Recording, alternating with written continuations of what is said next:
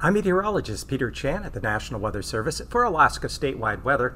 On this Saturday, June 18th, we continue to watch an area of low pressure that's pushing uh, just south now of the Alaska Peninsula in the North Pacific. This feature will gradually work its way eastward and weaken. Ahead of it, uh, what was uh, an occluded front now is weakened more or less to a trough of low pressure that arcs across southwest Alaska out over the western and central Gulf with uh, some lower cloudiness.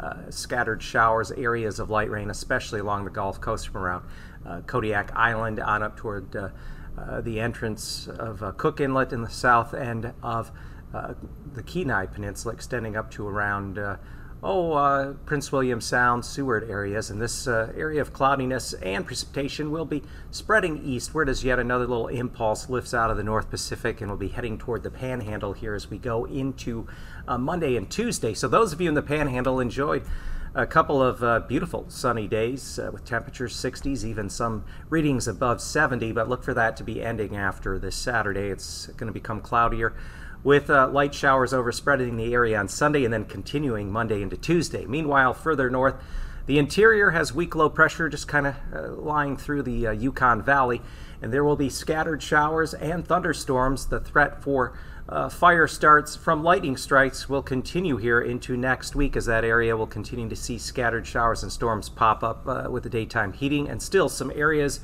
of smoke will persist, especially west and north of the Alaska Range through the interior as the result of ongoing uh, active wildfires. Coolest temperatures have been in the northwest, the northwest coast. It was 28 degrees for the state's low temperature this morning at Wainwright.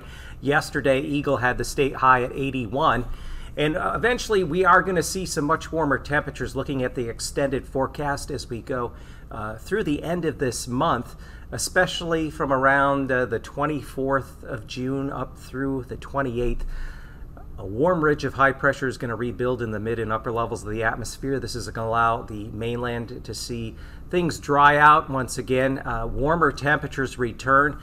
Uh, areas around Anchorage up through the Mat-Su Valley will see 70s with some 80 degree readings in the warmer spot. And I also expect areas of eastern Alaska, Alcan border, eastern Yukon could see readings 80s, maybe an isolated 90. For Alaska statewide weather, I'm Peter Chan.